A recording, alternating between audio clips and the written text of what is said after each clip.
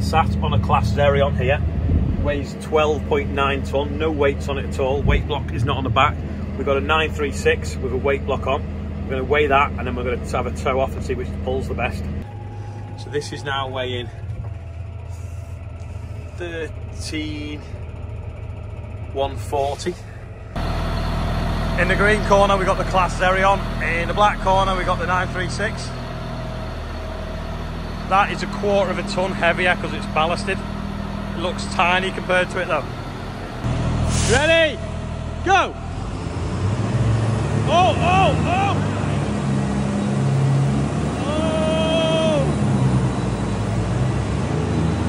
oh! Sam's getting on camera.